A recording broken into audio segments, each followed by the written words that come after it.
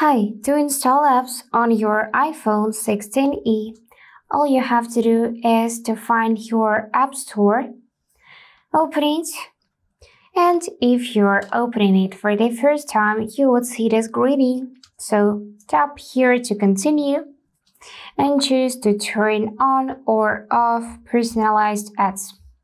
I'm gonna turn it off and allow to use location and now we can install apps.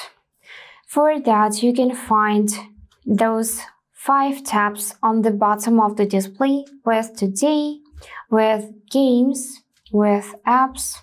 Also, there is an arcade and search bar. Here you can tap on search settings and manually search for any app you want to install.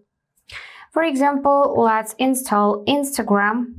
For that, I'm gonna just enter word Instagram, find it in suggested options. And now if you installed any app before, you'll see this cloud icon which you can tap and app will be installed immediately.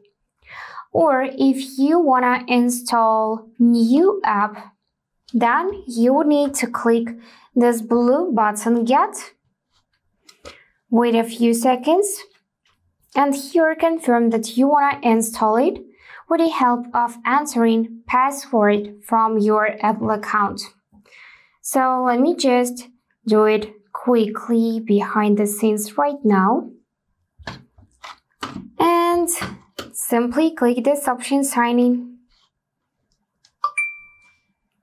And now app will be installed. Here choose to always require password or require after 15 minutes. And simply wait till it will load and you'll see this option to open it. And that's it for today. If this video was helpful, please subscribe, like and comment. And I wish you all the best. Bye bye.